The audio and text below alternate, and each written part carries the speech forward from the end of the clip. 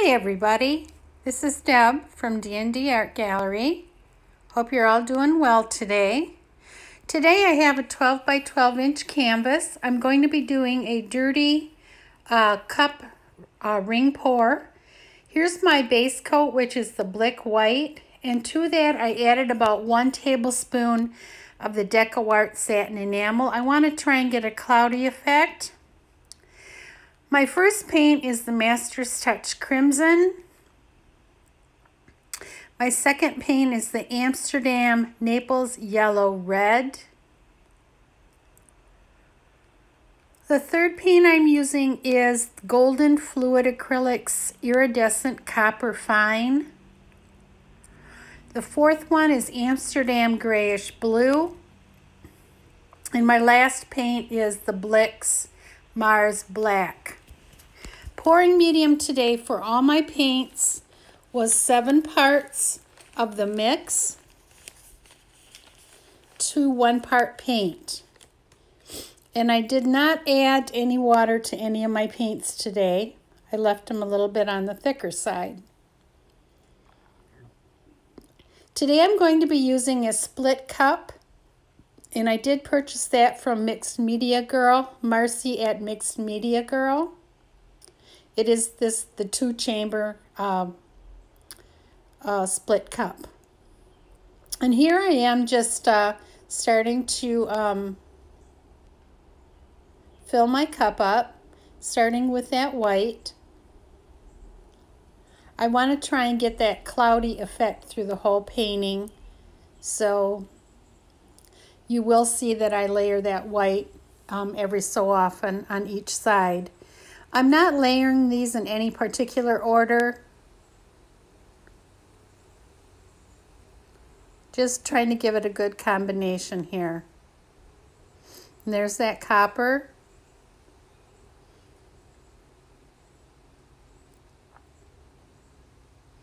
And that is that uh, Naples yellow red.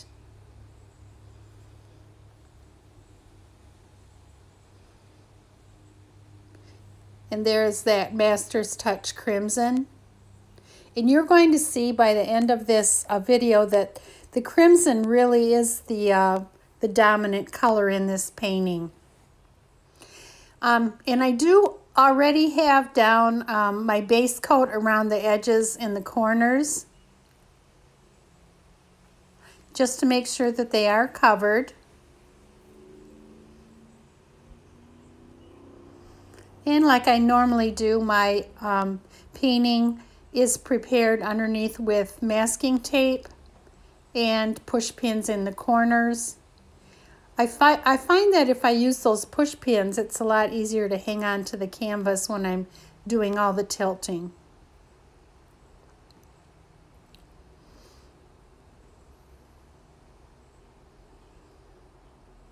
And as I'm layering here, I'm just trying to be mindful of putting colors next to each other that uh, that will go well together and not cause a, a muddy effect.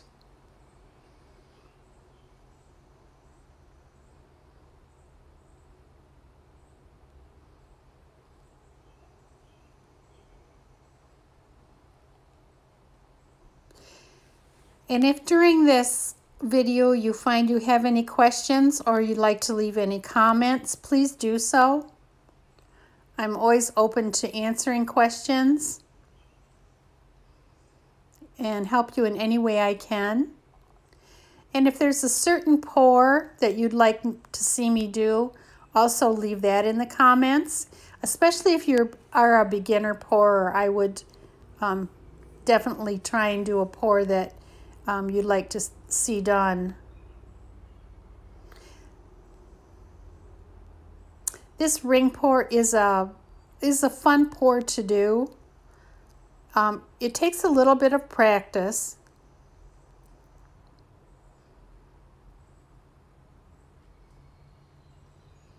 Especially at the very end when you're getting, um, when your cup is almost empty and you're down to the really small ring. It's hard to get that to look perfect, but you'll see what I do to help that out after I do the pour.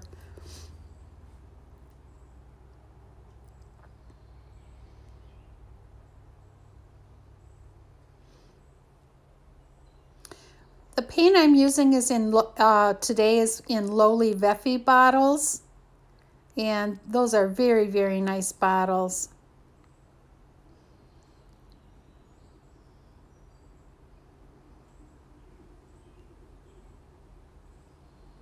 No silicone is used today.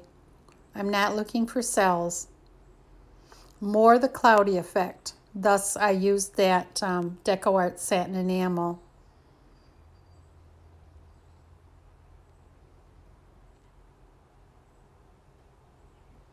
Getting to the end here. My cup is almost full. I will have plenty of paint for this 12 by 12 inch canvas.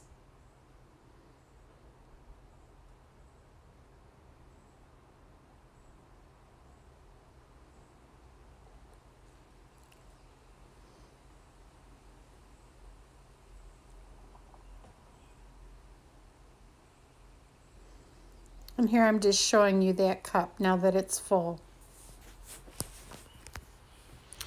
Here I am laying down my base coat.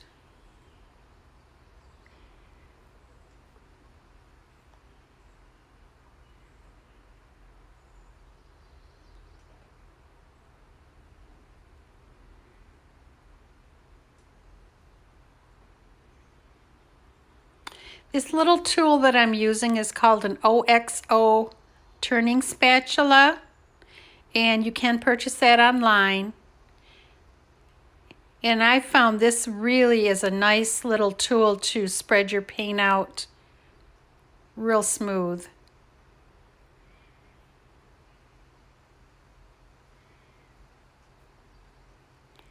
This paint also has the uh, DecoArt satin enamel in it.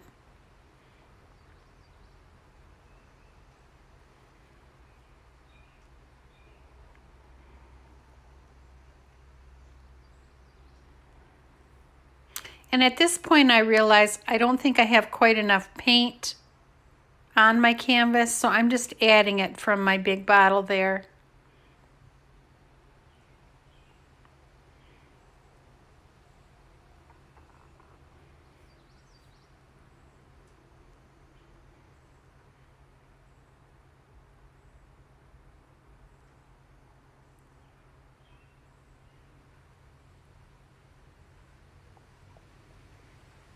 Checking the edges here, making sure that they're all covered.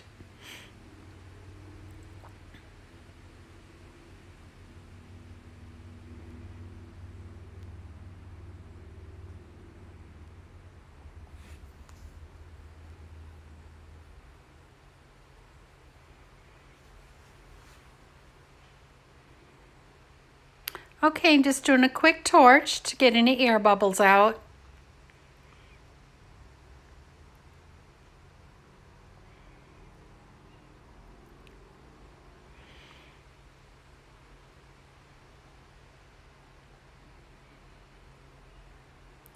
And as you can see, I do call this a dirty pour, ring pour, because I, at the beginning, I just pour the paint out like a dirty pour. And now I start the rings.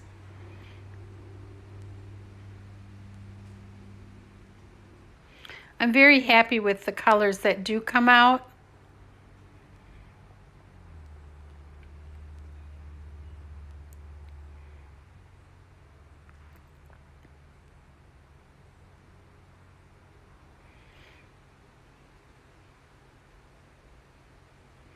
And as I was saying before, when you get to the very end and your cup is almost empty, sometimes it's hard to get that perfect ring at the end.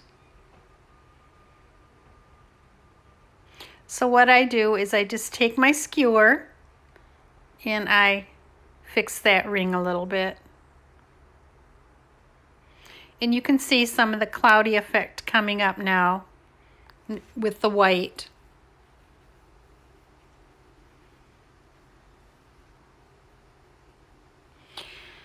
And as I'm looking at this and getting ready to tip it, I do notice that I have quite a bit of white paint in the center, unfortunately. I wish I would have had more of the um, of that red and the copper and the yellow red in the center instead of all that white.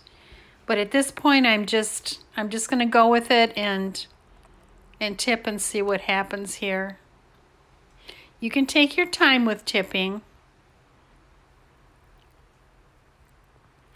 And I am excited to see what the mix is going to, uh, how it's going to react to the uh, satin enamel.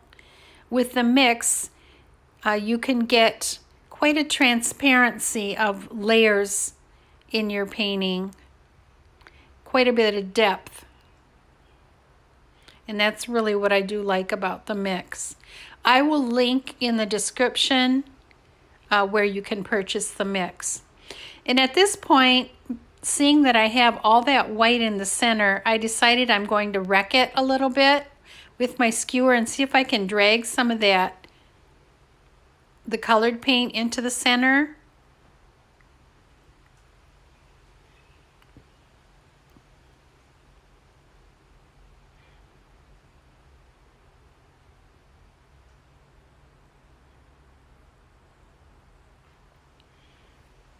And now I'm going to just do some more tipping here and see what happens.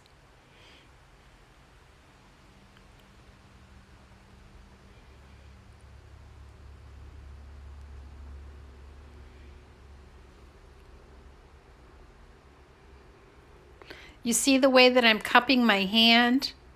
I'm trying to preserve that colored paint and then just um, bring it back down onto the canvas after I tip.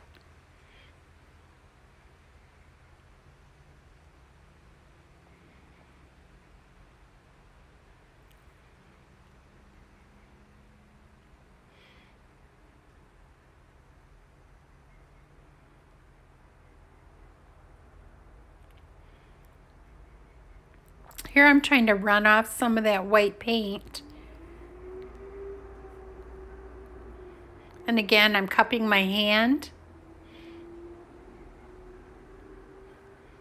I'm just trying to preserve some of that colored paint.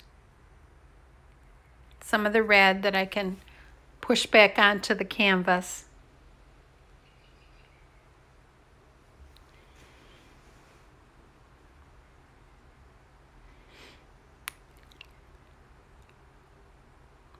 Here I'm just taking a look at it, realizing I have way too much white and I need to get some color in the center there. So what I'm going to do is uh, I'm going to fill another little cup up. I'm going to use my split cup. Just put some colors in it.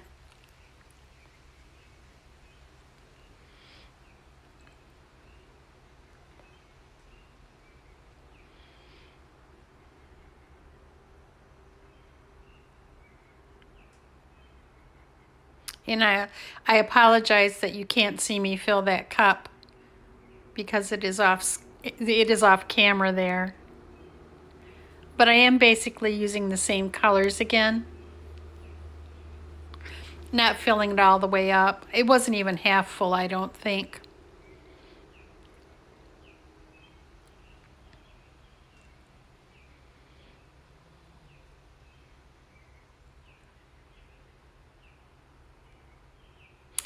Here I'm just going to do another little ring pour.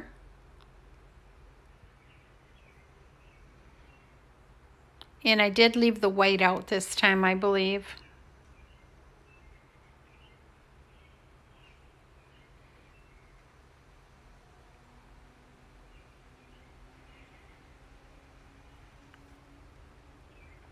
Looks like I did put a little bit of white in there, but not to the degree that I did the first time around. Okay, now I'm going to do some tipping and see what this adds to this painting here.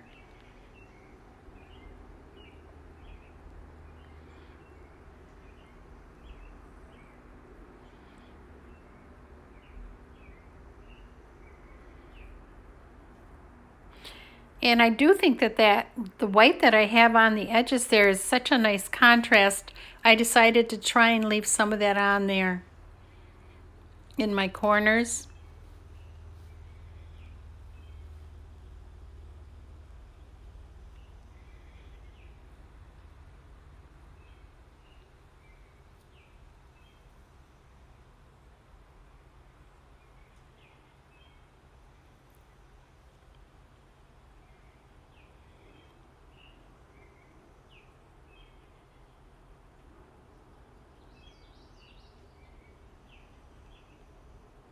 And you can see how thick that paint is because it does uh, run pretty slow there. And this is you, where you can see the magic of the mix. All the different layers that you're starting to be able to see.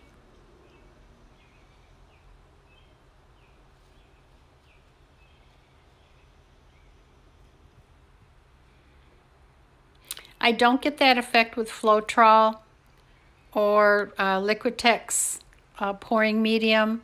I only get that with the mix.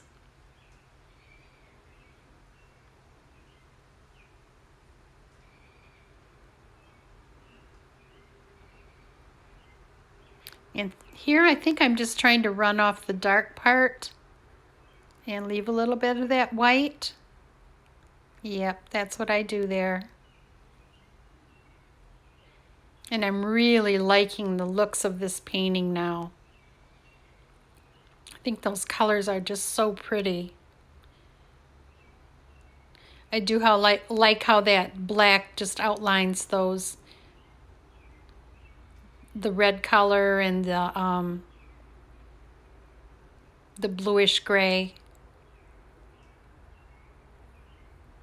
The one color that I really did not see a lot come through was that copper.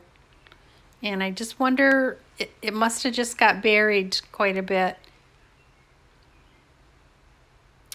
But I do continue to tip here. Because I found with the mix, the more I um,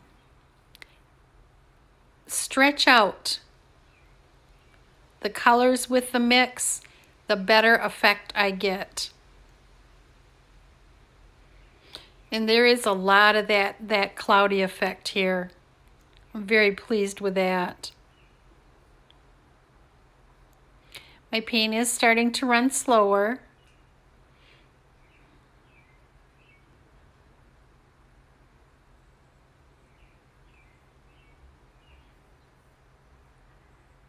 And you can just see how pretty that looks now down at the bottom there of that canvas.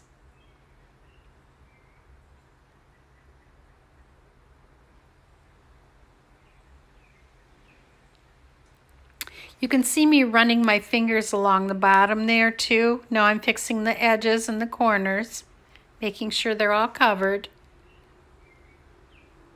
Just pulling some more paint down here.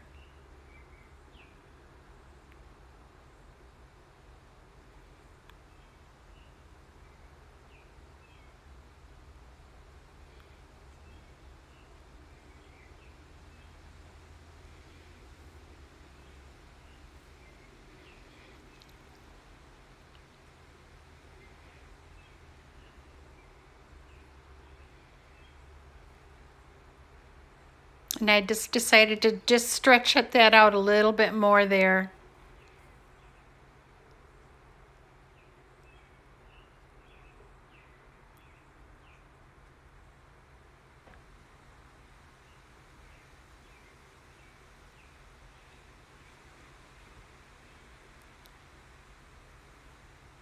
Pretty happy with what I see.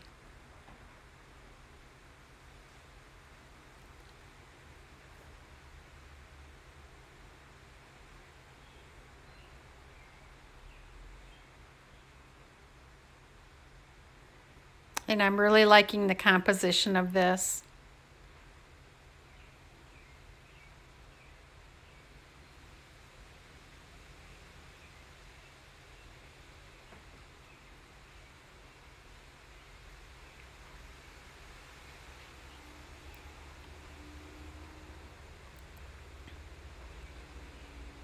I'm giving it a quick torch.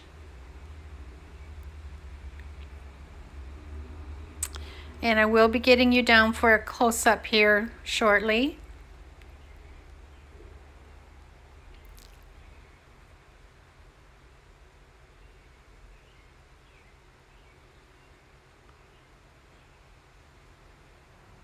Okay, I decide just to give that a little bit more of a stretch there, just to pull out some more layers.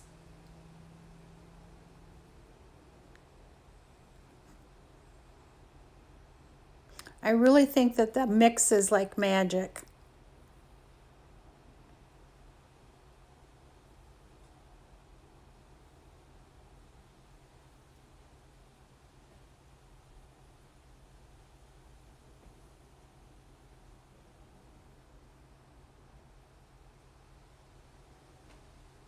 and you'll get to see all the really neat effects when I bring you down for the close-up.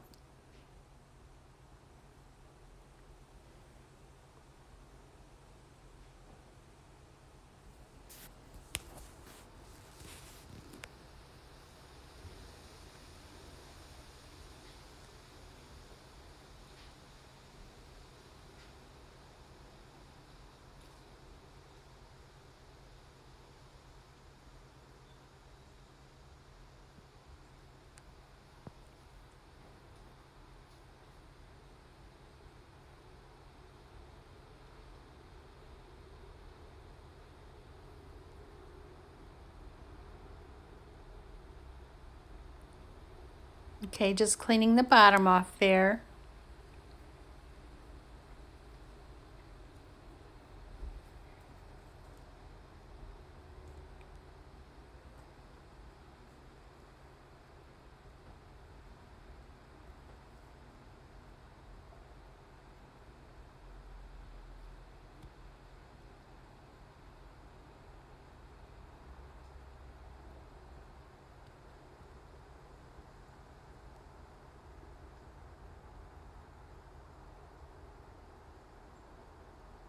Just pulling it out a little bit more here.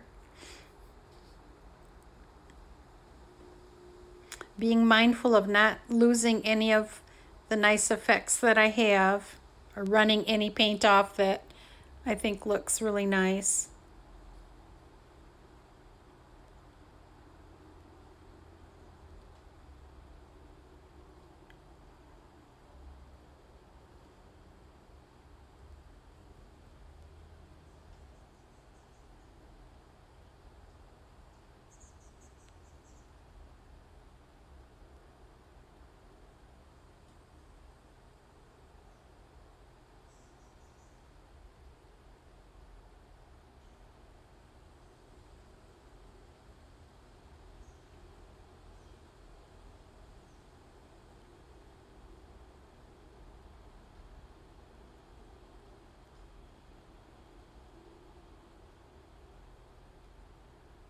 Giving it another torch here.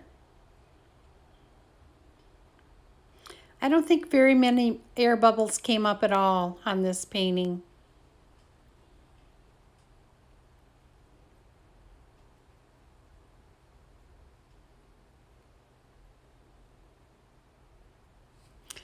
And here we are for our close-up.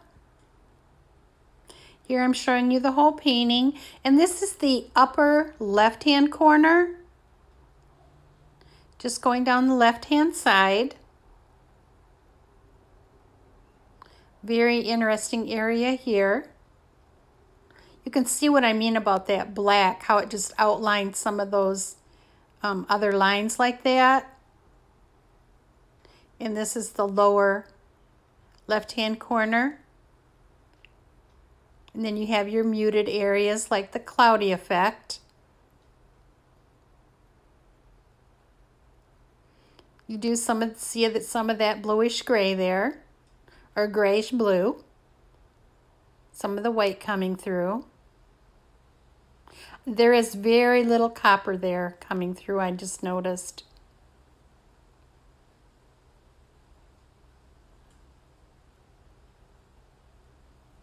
This is a nice area in here also.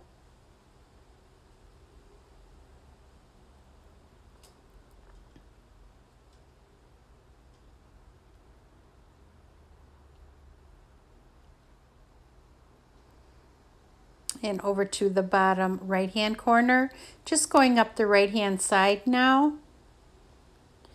And I hope you've enjoyed this video. Thanks for spending time with me today this is the area I love the most, right here. All the different layers you can see coming through. And that's the upper right hand corner. Make sure you share this video if you like it. And until next time, take care everybody. Bye for now.